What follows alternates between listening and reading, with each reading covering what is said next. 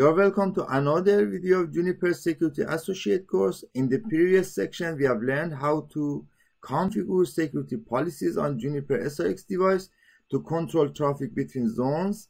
Now it's critical to monitor and troubleshoot connectivities over security policies, especially when there is a connectivity problem. In this section, we will learn five very practical and handy monitoring and troubleshooting commands for security policies. In this section, we will examine five monitoring commands to troubleshoot connections over Juniper SRX device. The first command show security policies is just to check and review the configured security policies per interface or per zone pair. If you enter details as a parameter in this command, it is also possible to monitor the statistics for each policy. In other words, byte rate, packet rate, and session rate for incoming and outgoing traffic matching each policy. In the second command show security flow session, you can monitor all active sessions through Juniper SRX. This command is very useful and very handy commands in connection troubleshooting. With grep command or the parameters of the command itself, we can easily limit the output for a specific sessions. With the command show security match policies, you can monitor how a specific traffic with a given source and destination IP protocol and source and destination port are matched with security policies. In other words, with which policy a given traffic is matched and what will be the action of the traffic. You can also log any interesting traffic and refer to it later when the traffic is no longer active.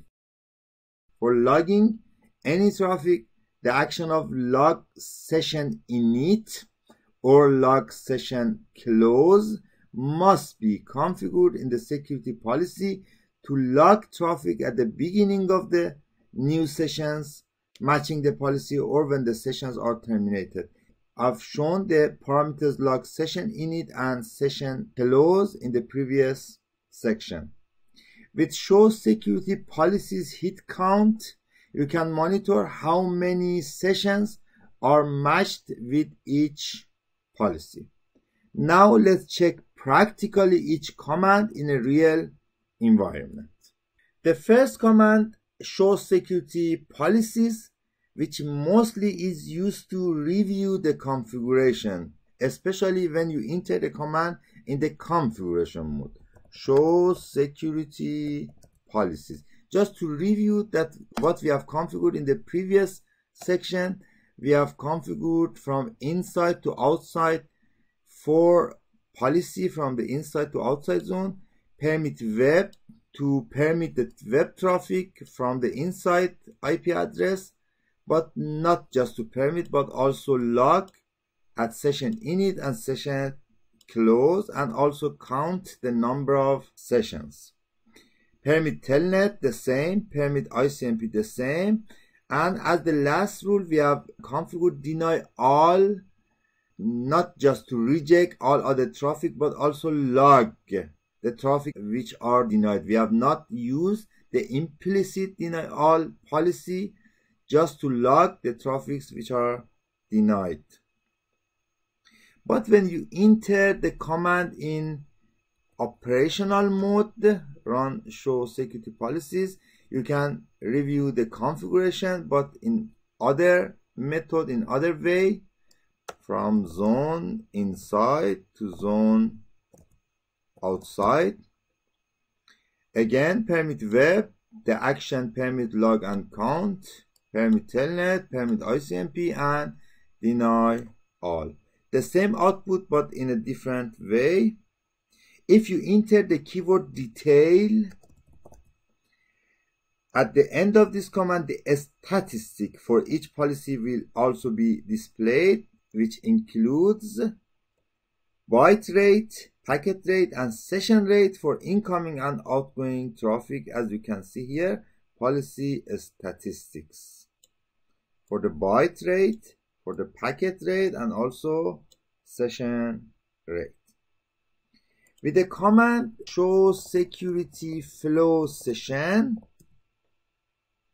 all live sessions through the Juniper SRX will be displayed, which is very practical in connection troubleshooting. At the moment, we have no live sessions, so to create some live session, a telnet sessions we create here, and also a ping, and then we check again the command, and as you can see, permit telnet, one session is matched. And permit ICMP we have also two sessions as you can see each connection is shown separately. Not only the specification of the packets are displayed just source IP source port destination IP and destination port but also shows with which policy it is matched and how many packets are matched with this session. In the incoming to the interface or outgoing incoming to the juniper device or outgoing from the juniper device. You can match specific sessions because there are usually so many sessions and we have to match only a specific or some specific sessions. We can do it with grep command or with the parameters included in the command itself. For example, with the grep,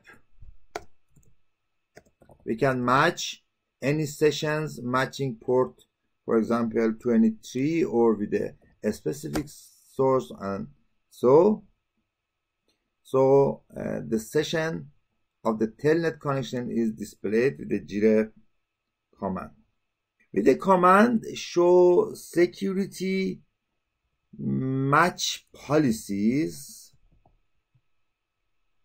match policies, you can check how a specific traffic sample will be matched with the security policies. For example, show security match policies from zone inside to zone to zone outside. For a sample source IP, for source IP, 192, 168, 1, 100 and destination IP 100, 1000 from the source and destination IP 192, 100, 1, 100 and also source port for example 1, 2, 3, 4 and the destination port 23 and protocol TCP.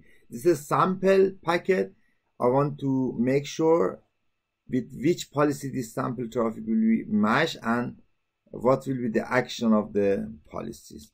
As you can see, the traffic will be matched with the permit telnet policies and the action will be permitted. And this is also the statistics of the policy that also we have seen the output of show security policy details command. As you have seen, actually uh, the traffic was not a real traffic and you only ask how a specific sample traffic with a given source and destination IP address protocol and source and destination port is matched with security policies. In other words, with which policy a sample traffic will be matched. The other useful monitoring and troubleshooting command in Juniper SRX device is to log any interesting traffic forwarding through Juniper SRX device or denied in the Juniper SRX device. To enable logging, first we have to make sure that we enable the log action in any interesting policy as we have uh, configured in the previous section just to review show security policies. As you can see from zone inside to zone outside configure permit telnet but log as the action. Log as the action must be configured for each interesting traffic that that you want to be logged. With a log session init or log session close to log any new session matching the policy or log any session when they are terminated. We also have to enable SRX syslog service to configure where the logs are stored and how we can refer to them at a later time.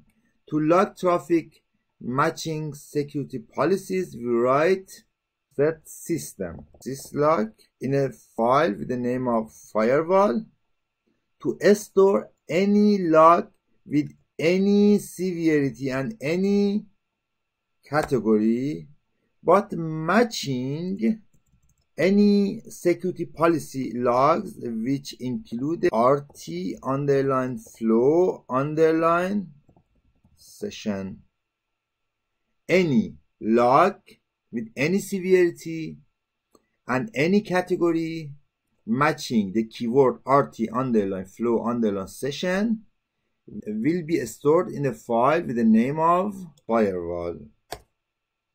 I have to also configure set security log mode event instead of stream which is the default event log the traffic in control plane instead of stream which log the traffic in data plane. Uh, without this command all logs are processed in data plane but i'm not sure why there is no log output for me stored in the log file without this command. So i have to enter this command and then uh, show compare and then commit. Now again let's generate some traffic some traffic to be permitted and some traffic to be denied. Again ping. Again telnet. And also ftp traffic which is denied and now we can check the output of show log command with command run show log firewall. As you can see this is the output of any traffic which are permitted or denied by deny all. Or for example let's check it with grep 23 which are matched with permit telnet or ICMP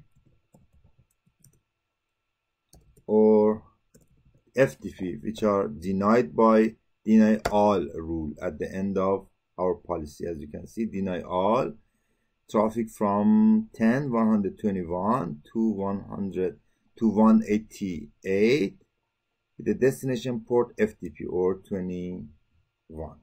And the last command with the command show security policies hit count. You can monitor how many sessions are matched with each policy. For example, with the policy permit telnet as you can see nine sessions are matched. Again we generate a new telnet session to make sure if it is increasing or not. Again we check the output of this command. As you can see it changed to 10 so a new session is matched with this permit telnet policy